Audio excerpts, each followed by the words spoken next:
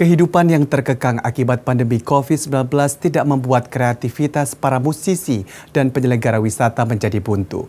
Di Italia, warga yang telah haus hiburan menikmati festival musik yang berbeda dari biasanya.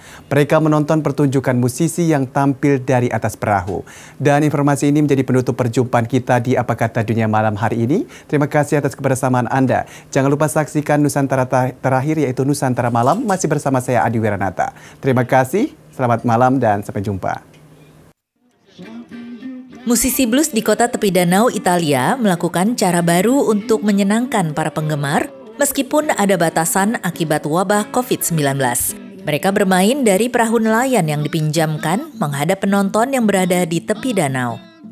Para musisi ini memuat gitar, harmonika, mikrofon, dan amplifier bertenaga baterai pada empat perahu kecil dengan motor tempel. Perahu berhenti di sana-sini di sepanjang tepi danau terbesar di Italia Tengah ini untuk melantunkan satu atau dua lagu.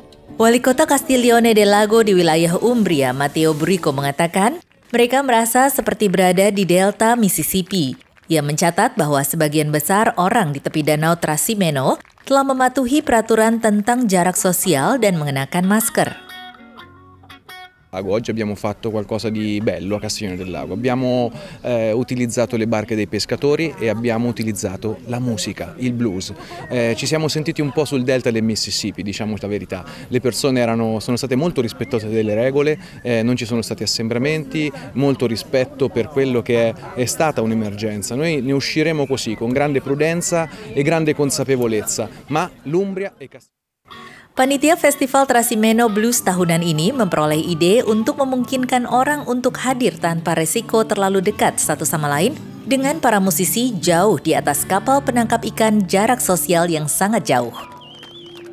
È una mm, bella novità, un, penso un ripartire per eh, eh, le persone che, si, che, per i musicisti, per quelli del settore che fra l'altro a noi ci fa particolarmente piacere perché con queste distanze penso possano eh, fare altre iniziative e, e comunque sentirsi vivi e pronti a ripartire come dovrebbero in spettacoli con il pubblico. Beberapa pecinta musik datang dengan trik yang bagus untuk lebih dekat dengan musik dengan menggunakan papan dayung untuk mendapatkan tampilan yang lebih dekat namun tetap aman.